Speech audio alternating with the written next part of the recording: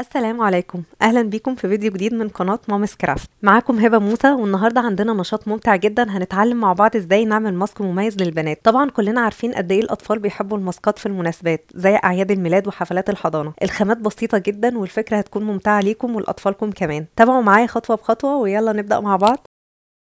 أول خطوة هنجيب ورقة مقاسها 22 في 14 سم وهنتنيها بالنص ونرسم نص الماسك عليها علشان لما نقصها يكونوا النصين قد بعض بالظبط. ولو مش حابين ترسموا هسيب ليكم الماسك جاهز في صندوق الوصف تقدروا تطبعوه وتستخدموه على طول بدل ما ترسموا.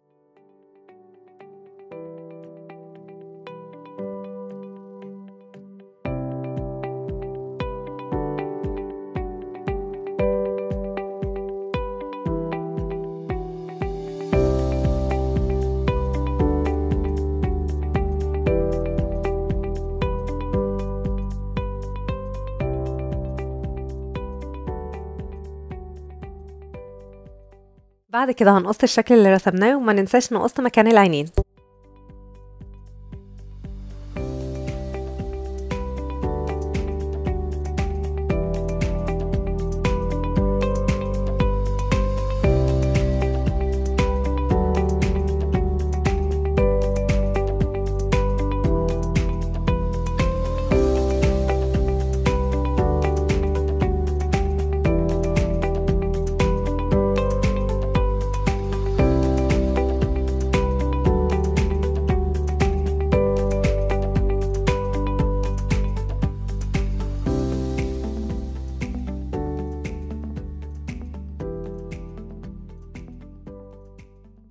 الخطوة اللي بعد كده هنحط الشكل المقصوص على ورق كانسون أو فوم لونه بيج.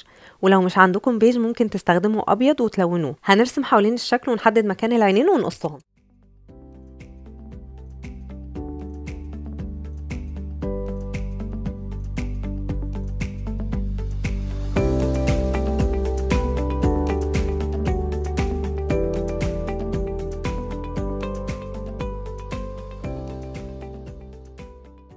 دلوقتي هنبدأ نعمل الشعر. هنقص الجزء بتاع الشعر من الرسمة اللي عملناها وهننقله على كانسون أسود. وهنستخدم قلم فاتح وإحنا بنرسم على الكانسون الأسود عشان يكون واضح وبعدين نقصه.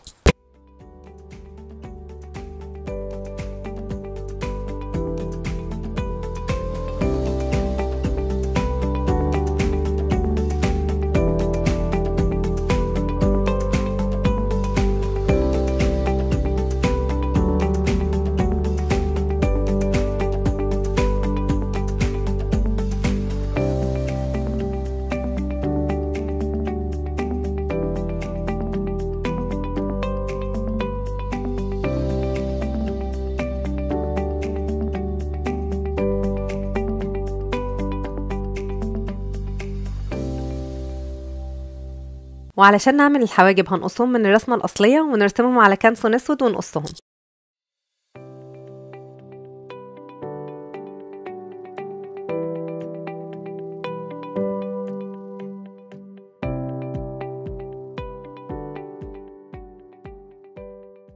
بعد كده هنقص التاج اللي فوق الشعر ونرسمه على فوم جليتر أزرق ونقصه.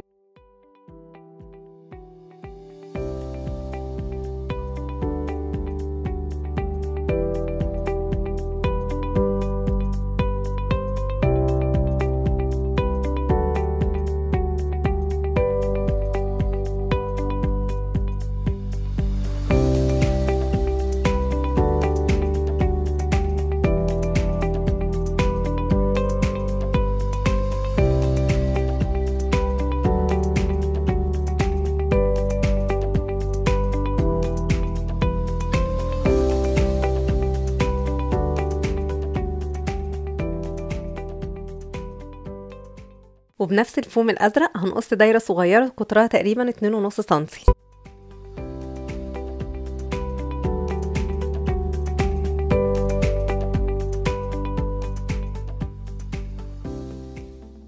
هناخد فوم ذهبي ونقص منه دايرة أكبر عشان تكون خلفية للدايرة الزرقاء.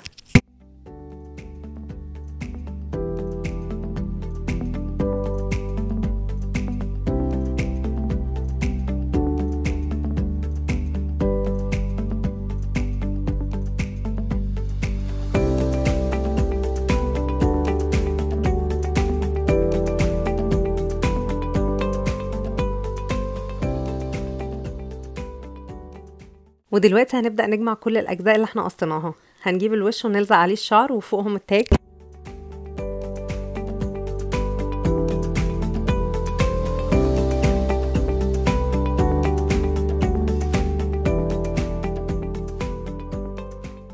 وعشان نكمل التاج هنعمل مثلثين صغيرين من الفوم الأزرق ونلزقهم في الجنبين بالشكل ده.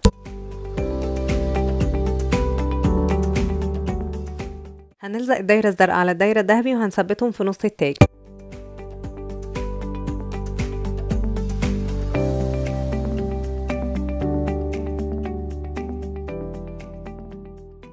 ودلوقتي هنرسم الرموش وبنحددهم بقلم حبر أو في الماستر أسود وبعد كده بنثبت الحواجب.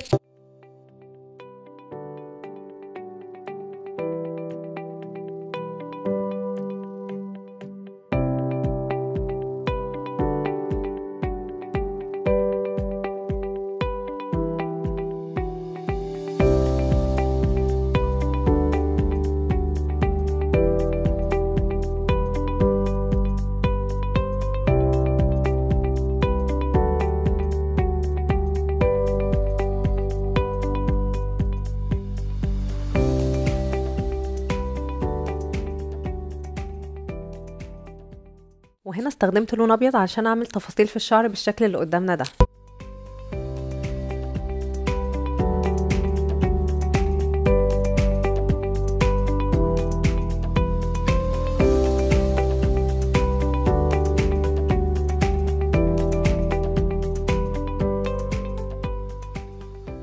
ودلوقتي بلون خشب بني هنعمل ظل بسيط كده على أطراف الماسك من تحت.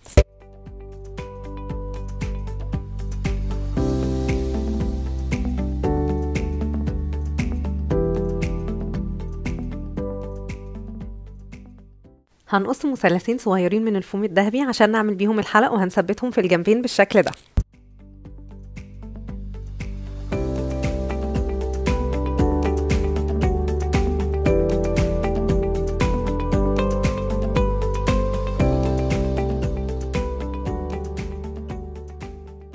وآخر خطوة معانا هنجيب عصاية شيش طاووق وهنلزقها من ورا بمسدس الشمع عشان نقدر نمسك الماسك منها. وبكده يكون الماسك بتاعنا خلص. أتمنى تكونوا استفدتوا بالخطوات ولو عجبكم الفيديو ما تنسوش تعملوا لايك وتشتركوا في القناة علشان تتابعوا كل جديد. أشوفكم في فيديو جديد قريب بإذن الله.